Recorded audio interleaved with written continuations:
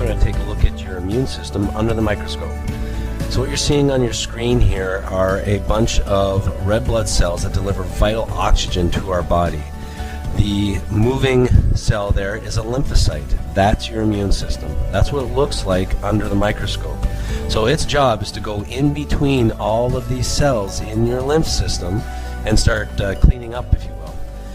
What you don't see is that it's swimming in water. That's why we need to drink water when we get sick. What you just saw there is a lymphocyte that's changing direction. That's showing intelligence.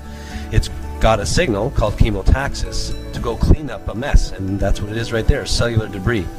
So what you're seeing there is that lymphocyte starting to break down and clean up all that cellular debris. Just like a car that uh, uses gas and there's exhaust, all of our cells use fuel, and then there's byproducts of metabolism.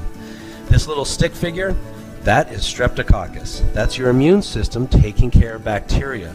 Look how